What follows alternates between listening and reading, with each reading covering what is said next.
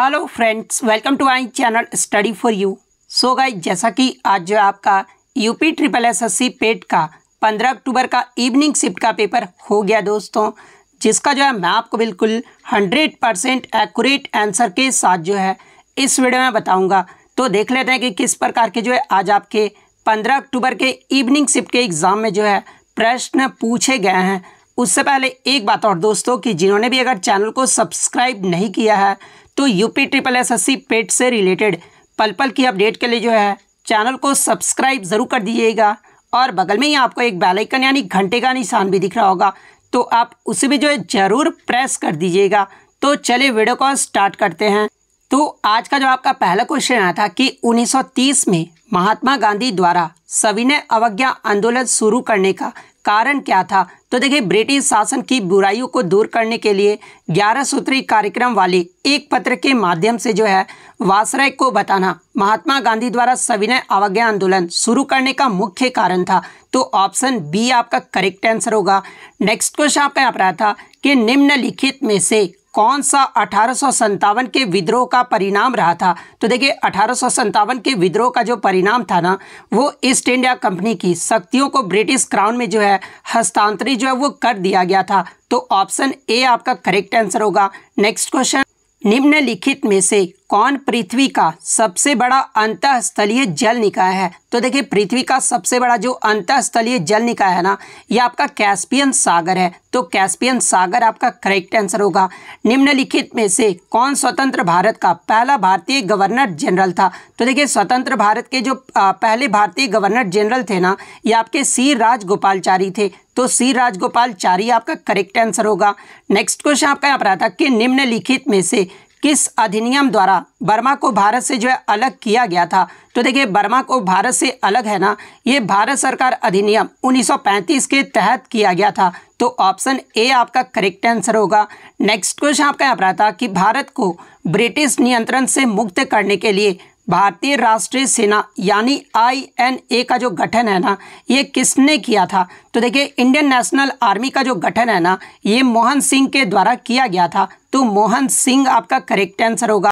Next question आपका यहाँ पर आया था कि सागौन के जंगल, भारत के निम्नलिखित में से किस राज्य में पाए जाते हैं? तो देखिए, ये जो आपके सागौन के जंगल होते हैं ना, ये भारत के मध्य प्रदेश राज्य में पाए जाते हैं। तो मध्य प्रदेश आपका करेक्ट आंसर होगा। नेक्स्ट क्वेश्चन आपका यहाँ पर आया था कि सामान्य वर्षा में अचानक वृद्धि हो जाती है और कई दिनों तक लगातार जारी रहता है। इस मानसून को जो है क्या कहा जाता है? तो देखिए, सामान्य वर्षा में अचानक वृद्धि हो जाती है और कई दिनों तक लगातार जारी रहता है। इस मानसून को जो है ना, ये बस्ट यानी प्रस्फोट फटना, ये जो है कहा जाता है। तो ऑप्शन सी आपका करेक्ट आंसर होगा। नेक्स्ट क्वेश्चन आपका यहाँ पर आया था कि GMT का जो है पूर्ण रूप पूछा गया था। तो देखिए GMT का जो पूर्ण रूप होता है ना, वो आपका ग्रीन विच मेन टाइम होता है। तो ऑप्शन बी आपका यहाँ पे करेक्ट आंसर होगा। नेक्स्ट आपका यहाँ पर आया था कि प्रति एक हज़ार लोगों पर जीवित जन्मों की वार्षिक संख्या को जो है किस नाम से जाना जाता है? तो देखिए, प्रति एक हज़ार लोगों पर जीवित जन्मों की वार्षिक संख्या को जो है, ये कुल प्रजनन दर के नाम से जाना जाता है। तो ऑप्शन सी आपका करेक्ट आंसर होगा।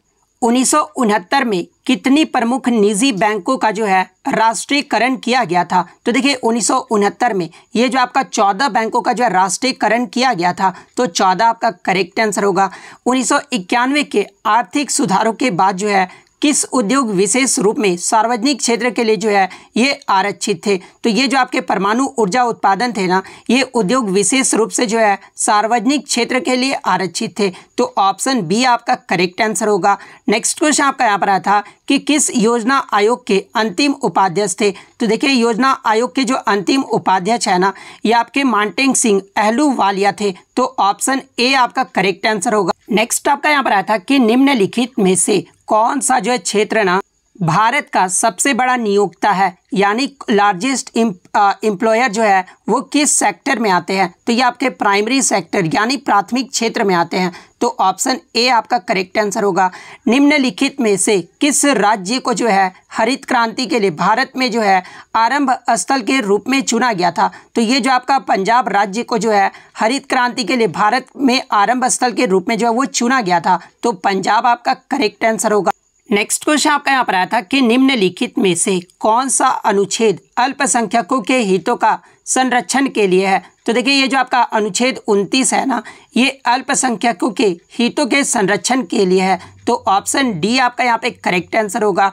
नेक्स्ट क्वेश्चन आपका यहाँ पर आया था कि बयालीसवें संशोधन के माध्यम से संविधान में कौन सा नया डीपीएसपी यानी राज्य नीति निर्देशक सिद्धांत को जो है, वो जोड़ा गया था? तो देखिए, बयालीसवें संविधान संशोधन के माध्यम से आपके जो है, आय, स्थिति, सुविधाओं और अवसरों में असमानताओं को कम करने की राज्य की जो है, आवश्यकता, ये जो आपका डीपीएसपी में जोड़ा गया था तो ऑप्शन डी आपका करेक्ट आंसर होगा। नेक्स्ट आपका यहाँ पर आता है कि निम्नलिखित में से कौन सा मौलिक कर्तव्य है? तो देखिए, सार्वजनिक संपत्ति की सुरक्षा करना, वैज्ञानिक दृष्टिकोण और मानवाद मानवाद विकसित करना, भारत की संप्रभुता, अखंडता और एकता की रक्षा करना, ये सभी जो आपके मौलिक कर्तव्य हैं तो ऑप्शन ए ये सभी आपका करेक्ट आंसर होगा। नेक्स्ट क्वेश्चन आपका यहाँ पर आता है कि सभी अम्लों में समान तत्व होता है। तो देखिए, सभी अम्लों में जो समान तत्व होते हैं ना, वो आपके हाइड्रोजन होते हैं। तो हाइड्रोजन आपका करेक्ट आंसर होगा। नॉन स्टिक खाना पकाने के बर्तन से कौन सा जो है लिपित होता है? तो देखिए नॉन स्टिक खाना पकाने के बर्तन, ये जो आपके टेफ्लॉन से जो वो लिपित होते हैं। तो टेफ्लॉन आपका करेक्ट आंसर होगा। अनुच्छेद 245 के अकॉर्डिंग ये जो है संसद का क्या कार्य होता है? तो देखिए, अनुच्छेद 245 के अकॉर्डिंग कानून बनाना, ये जो है संसद का कार्य है। तो कानून बनाना आपका करेक्ट आंसर होगा। नेक्स्ट आपका यहाँ पर आया था कि सरकारिया आयोग निम्नलिखित में से किससे संबंधित है? तो देखिए, ये जो आपका सरकारिया आयोग है ना, ये केंद्र और राज्य संबंध से जो है ये आपका संबंधित है। तो ऑप्शन बी आपका करेक्ट आंसर होगा। नेक्स्ट आपका यहाँ पर आता कि प्रकाश वर्ष किसका एक जो है माप होता है? तो देखिए, light year is a measurement of ये जो आपका तारकीय दूरी का जो एक माप होता है। तो ऑप्शन डी आपका यहाँ पे करेक्ट आंसर होगा।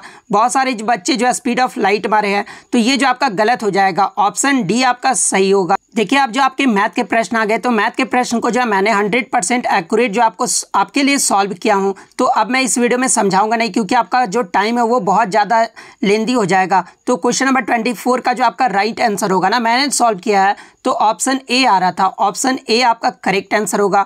ट्वेंटी फाइव की बात कर ले तो ट्वेंटी फाइव का जो करेक्ट आंसर आ रहा है ना वो हमारा फाइव परसेंट आ रहा ऑप्शन बी जिन्होंने लगाया उनका यहाँ पे सही होगा। निम्नलिखित में से कौन सबसे बुद्धिमान स्तनधारी होता है? तो देखिए, सबसे जो बुद्धिमान स्तनधारी होता है ना, ये आपका डॉल्फिन होता है। तो ऑप्शन सी आपका करेक्ट आंसर होगा। नेक्स्ट आपका यहाँ पर आता है कि पौधे का विकास, ये जो है किससे प्रभावित होता है? तो देखिए, पौधे का जो विकास है ना, ये प्रकाश की गुणवत्ता, मात्रा और अवधि पर जो है ये प्रभावित होता है। तो ऑप्शन ए आपका यहाँ पे करेक्ट आंसर होगा। नेक्स्ट आपका जो है रीजनिंग से प्रश्न दिया गया था। सॉरी यहाँ पर मैथ से प्रश्न था कि दिए गए भिन्न, आपके भिन्न दिए गए थे और इसमें बताना था कि सबसे बड़ा जो है कौन सा है? तो देखिए, मैं आपको बता दूँ कि इस क्वेश्चन को मैंने सॉल्व किया है। तो सबसे बड़ा जो आपका भिन्न है ना, वो आपका ग्यारह बाई तेरह है। ऑप्शन डी आपका करेक्ट आंसर हो। उसके बाद फिर से आपका एक रूट से प्रश्न मैथ में पूछा गया था। तो minus root five by two, आपका यहाँ जो है फाइव माइनस टू आएगा, ठीक है? Minus root five minus two, option B आपका करेक्ट आंसर आएगा। उसके बाद आपका तीन सौ आठ, एक सौ पच्चीस, पैंतालीस, एक सौ बीस और एक सौ दो का जो है एवरेज, यानी औसत पूछा गया था। तो देखिए, इसका जो एवरेज आएगा ना, वो आपका एक सौ चालीस आएगा। मैंने इसको सॉल्व किया था तो एक सौ चालीस आपका करेक्ट आंसर होगा। अस्थावर का जो विलोम शब्द पूछा गया था तो देखिए, अस्थावर का जो विलोम शब्द होता है ना, वो आपका जंगम होता है। तो ऑप्शन ए आपका करेक्ट आंसर होगा। बिल्ली को पहले ही दिन मारनी चाहिए। इसका अर्थ क्या होता है? तो देखिए, बिल्ली को पहले ही दिन मारनी चाहिए। इसका जो अर्थ होता है ना, वो भय का समन शुरू में ही जो है कर देना चाहिए। ऑप्शन बी आपका करेक्ट आंसर होगा। उसके बाद जो आपका स्वल्प का संधि विच्छेद पूछा गया था तो देखिए स्वल्प का जो संधि विच्छेद होता है ना, वो आपका सु प्लस अल्प होता है तो ऑप्शन डी आपका करेक्ट आंसर होगा। इति प्लस इति का सही अर्थ भेद आपको बताना था तो देखिए इति का मतलब क्या होता है तो समाप्त होता है तो ऑप्शन और ये आपका इति का मतलब क्या होता है तो विघ्न होता है तो ऑप्शन बी आपका करेक्ट आंसर होगा। ईश्वर में विश्वास रखने वाला, इस शब्द समूह के लिए एक शब्द बताना था तो देखिए जो ईश्वर में विश्वास रखता है, उसे क्या कहा जाता है तो आस्तिक कहा जाता है और जो ईश्वर में विश्वास नहीं रखता, उसे जो है नास्तिक कहा जाता है। तो ऑप्शन ए आपका करेक्ट आंसर हो। उसके बाद जो आपका question number thirty six and thirty seven में आपको जो है पैसेज पढ़ना था और पैसेज पढ़कर जो आपको जवाब देना था। तो देखिए, मैंने पैसेज पढ़ लिया है तो क्वेश्चन नंबर थर्टी सिक्स का जो आंसर आएगा ना, वो आपका thank you cards option C आपका करेक्ट आंसर आएगा। उसके बाद जो आपका Valentine day officially a holiday ये जो आपका थर्टी सेवन का जो होगा ना, वो आपका नो हो जाएगा। ऑप्शन सी आपका करेक्ट आंसर होगा। उसके बाद जो आपका टेम का जो है सिनोनीम पूछा गया था तो देखिए टेम का जो सिनोनीम होता है ना, वो आपका क्या होता है? तो डोकाइल होता है। ऑप्शन बी आपका करेक्ट आंसर होगा। Choose the correct antonym. आपको रैपिड का जो है एंटोनिम पूछा गया था। तो देखिए, रैपिड का जो मतलब होता है वो तेज़ी से होता है। तो इसका जो एंटोनिम होगा, वो आपका टाडी होगा। ऑप्शन बी आपका करेक्ट आंसर होगा। उसके बाद आपका वन वर्ड सब्सटीट्यूशन से आता कि one who is.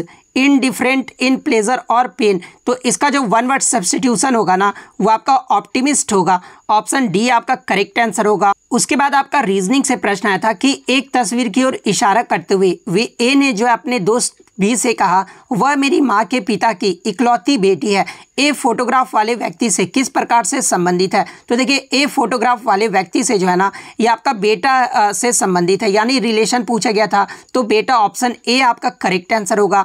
नेक्स्ट आपका दो कथन दिए गए थे और पूछा गया था कि इनमें से कौन सा जो है सही संबंध जो है वो सही ढंग से दर्शाता है। तो पहले कथन में दिया गया था कि लैपटॉप निर्माण कंपनियों ने हाल ही में जो है लैपटॉप की कीमतों में वृद्धि की है और सेकेंड कथन आपका दिया गया था कि सरकार ने हाल ही में लैपटॉप पर जो है शुल्क बढ़ाया है तो आपका कथन दो कारण है और कथन एक जो है इसका प्रभाव है। तो ऑप्शन सी हम लोग देखेंगे। तो ऑप्शन सी आपका यहाँ पे करेक्ट आंसर होगा। नेक्स्ट आपका करंट अफेयर से आया था कि भारत गौरव पर्यटक ट्रेन को जून 2022 में रामायण सर्किट के हिस्से के रूप में जो है, भारत और किस देश के बीच हरी झंडी दिखाकर जो है, वो रवाना किया गया था। तो ये जो आपका भारत और नेपाल के बीच जो है, हरी झंडी दिखाकर रवाना किया गया था।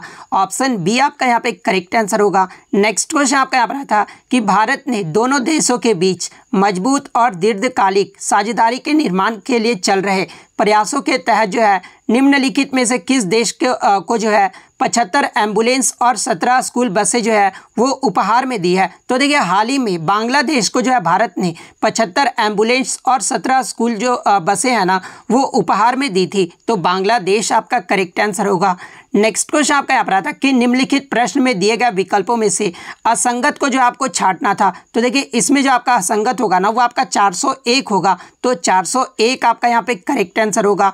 नेक्स्ट आपका एक जनवरी 2006 को रविवार था तो एक जनवरी 2010 को सप्ताह का कौन सा दिन होगा तो ये आपका शुक्रवार होगा। और ये जो आपका फ़र्स्ट शिफ्ट में भी पूछा गया था तो शुक्रवार आपका करेक्ट आंसर उसके बाद फिर से आपका एक रीजनिंग से प्रश्न आया था, जो कि कोडिंग डिकोडिंग से आया था। यदि किसी निश्चित भाषा में एक्टिव को जो है E D U J W A के रूप में कोडित किया जाता है तो उस कोड को इफ़ेक्ट को जो है कैसे कोडित किया जाएगा? तो देखिए इफ़ेक्ट के लिए जो है आपका T G G F D E होगा तो ऑप्शन बी जिन्होंने भी मारा है ना तो उनका यहाँ पे सही हो जाएगा। नेक्स्ट क्वेश्चन आपका करंट अफेयर्स आया था कि निम्नलिखित में से किस राज्य सरकार ने पाँच हज़ार रुपये की काशी यात्रा सब्सिडी योजना जो है, वो शुरू की है? तो देखिए, हाल ही में काशी यात्रा सब्सिडी योजना जो है ना, ये कर्नाटक राज्य के द्वारा शुरू किया गया है। तो कर्नाटक आपका करेक्ट आंसर होगा। जून 2022 में भारत ने निम्नलिखित में से किस देश के साथ जो है कॉमनवेल्थ डिप्लोमेटिक एकेडमी प्रोग्राम की घोषणा की है? तो देखिए, हाल ही में भारत ने जो है किस देश के साथ? तो ये आपका यूनाइटेड किंगडम देश के साथ जो है कॉमनवेल्थ डिप्लोमेटिक एकेडमी प्रोग्राम की जो है घोषणा की है। तो यूके आपका यहाँ पे करेक्ट आंसर होगा।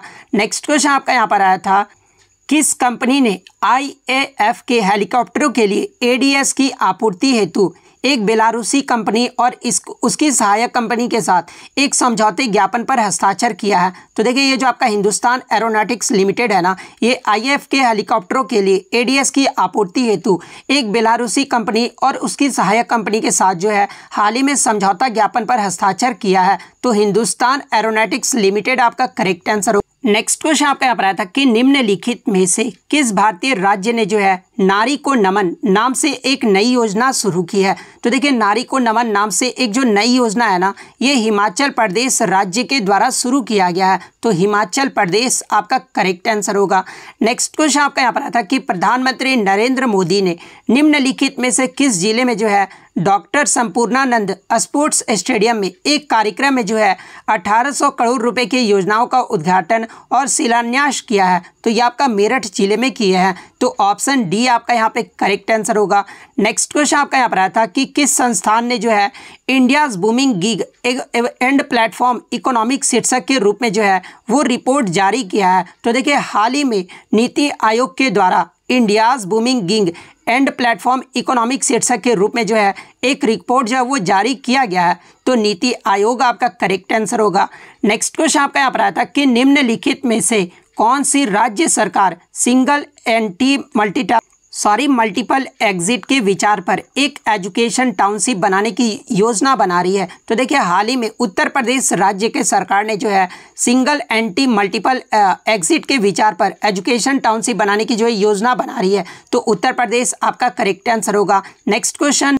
निम्नलिखित में से कौन सा भारत का सबसे छोटा केंद्र शासित प्रदेश है? तो देखिए, ये जो आपका लक्षद्वीप है ना, ये सबसे छोटा जो है केंद्र शासित प्रदेश है। तो लक्षद्वीप आपका करेक्ट आंसर होगा।